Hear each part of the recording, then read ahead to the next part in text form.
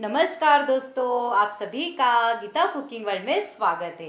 आज हम बनाने वाले एक अनोखे नए अंदाज में पकोड़े, वो भी कॉर्न के। देख रहे हो दोस्तों, अंदर से कितने हल्के से सॉफ्ट है, बाहर से बहुत ही करारे एक बार मेरे तरीके से आप घर पे बना के देखो दोस्तों, सही कहती हूँ, मुँह में पानी आएगा भी हफ़्ते में दो या तीन बार आप घर पे बनाओगे। इसके लिए आपको क्या करना है दोस्तों, आखिरी तक वीडियो देखना है। वीडियो पसंद आने के बाद हमें कमेंट बॉक्स में ज़रूर बताना। तो चलो भी ज़्यादा बातें करते नहीं, वीडियो बनाना स्टार्ट कर दे कौन के नए तरीके से पकौड़े।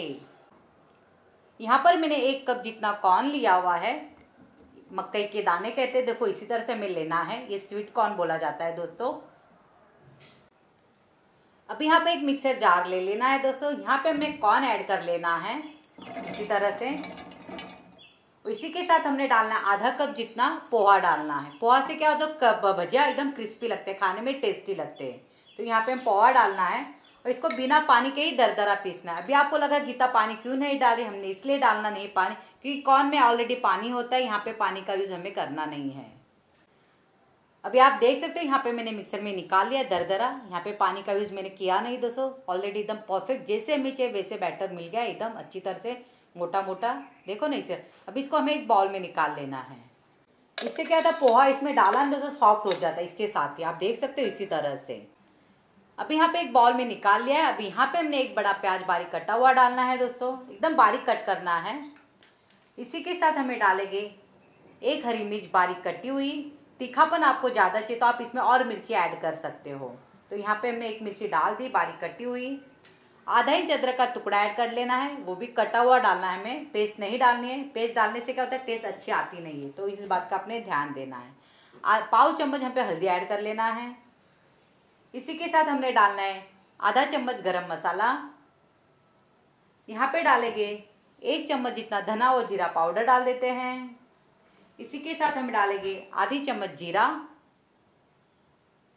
जीरा के साथ जाएगा चटपटा स्वाद आने के लिए यहाँ पे हम नींबू डालने वाले हैं, नींबू का रस। आधी चम्मच डाल देना है। अभी यहाँ पे स्वाद अनुसार नमक डाल देना है। ढेर सारा धनिया भी डाल देते हैं। बारीक कटा हुआ और यहाँ पे और खरारेपन आने के लिए यहाँ पे सीक्रेट मेरा तरीका है दोस्तों, यहाँ पे मैं चावल का आटा यूज़ करने वाली हूँ। यदि आपके पास चावल का आटा नहीं होगा तो कोई बात नहीं, घर के जो चावल होते हैं उसको मिक्सर में निकाल लेने का और पाउडर के जैसे पीस लेने का। अभी यहाँ पे मैंने दो बड़े चम्मच डाल देती हूँ। ये वाला चम्मच यूज़ किया हुआ है मैंने। और इसी के साथ हमें टेस्ट आने के लिए यहाँ पे मैंने उबले हुए आलू लेना है। दो, इसको भी हाथों से अच्छी तरह से मैच करके डालना है। अभी यहाँ पे सारी सामग्री हमने डाल दी है, अभी यहाँ पे हाथों से अच्छी तरह से मिक्स कर लेना है। यहाँ पे पानी का यूज़ हमें थोड़ा भी करना नहीं, क्योंकि ऑलरेडी कॉर्न में पानी होता है और आलू में भी पानी होता है। तो आपने इस बात का ध्यान देना है। देखो, एकदम परफेक्ट हमें जैसे चाहिए वैसे बैटर बन जाता है रेडी एकदम गाढ़ा ही चाहिए, पतला नहीं चाहिए। एकदम अच्छी तरह से मिक्स करते जाना है। अभी आप देख सकते हो, यहाँ पे एकदम अच्छी तरह से हमारा स्मूथली बैटर रेडी हो गया है परफेक्ट जैसे हमें चाहिए वैसे।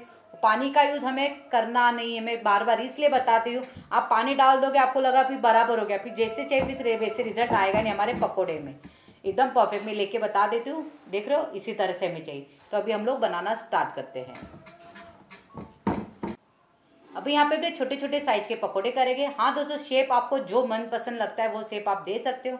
यहाँ पे मैं थोड़ा मुठिया जैसे शेप देने वाली हूँ। इसी तरह से देख लो एकदम मुठिया कैसे होता है हमारा? वैसे थोड़ा छोटा करना है हमें, बहुत बड़ा हो गया ये। छोटा जितना करोगे ना दोस्तों, उतना क्रिस्पी लगता है। क्योंकि जैसे मूंग भजी कैसी होती है हमारी, वैसे ही है। तो ना अभी सारे ऐसे ही बनाए जाए। अभी यहाँ पे सारे मुठिया हमने बना लिए। देखो, इसी तरह से मैं आपको लेके बता देती हूँ दोस्तों। परफेक्ट बन गई ये, है ना? तो अभी हम इसको फ्राई कर लेते हैं। अभी यहाँ पे एकदम गर्मा गर्म ऑयल हो गया है। अभी यहाँ पे एक एक मुठिया में डाल देना। इसी तरह से देख रहे हो। और गैस की फ्लेम फास्ट ही रखनी, धीमी हाथ पे इसको फ्राई नहीं करना है। नहीं तो ऑयली बन जाएगा। गैस की फ्लेम फास्ट रहने से क्या होता है? कुरकुरापन होता है खाने में। एक बार मेरे तरीके से घर पे बना कर देखो दोस्तों, सही कहते बहुत ही बढ़िया लगते हैं खाने में।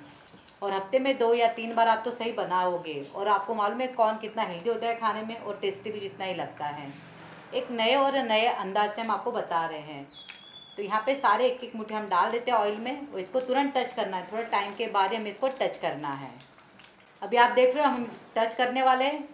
एकदम परफेक्ट इसको जब तक फ्राई करना है, तब तक ये कुरकुरा पन्ना बन जाए। देख हो इसी तरह से। एकदम बबल्स भी हल्की कम हो जानी चाहिए।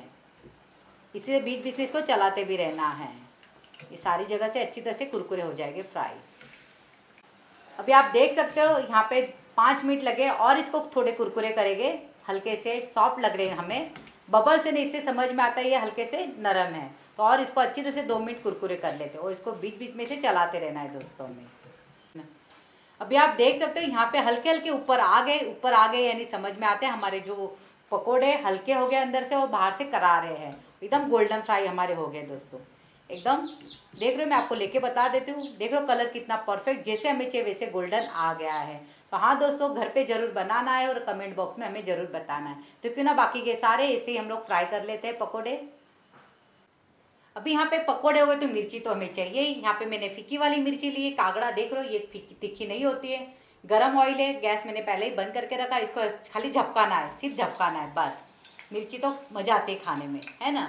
तो इसको ऐसे झपझपा लेते हैं, एक मिनट के लिए। वाह देखा ना दोस्तों कैसे बना दे हमने, कौन के पकोड़े रिज़ल्ट आपके सामने। मैं आपको लेके बता देती हूँ। बारिश भी आ रही है, बारिश में से कुछ मिल जाए अनोखा खाने को तो बस दिल खुश हो जाता है। ऑयल थोड़ा भी नहीं और तोड़ के भी बता देते हैं दोस्तों। वाव देख रहे हो हल्के से सॉफ्ट है बाहर से करा रहे जो गोल्डन गोल्डन दिख रहा है वो करा रहे हैं हमारे। तो आज का वीडियो आपको कैसे लगता है तो हमें कमेंट बॉक्स में ज़रूर बता देना है। अभी तक नए हो गए सब्सक्राइब करो लाइक करो, इस वीडियो को ज़्यादा से ज़्यादा शेयर करो और ऐसे ही प्यारो सपोर्ट करो। धन्यवाद दोस्तों।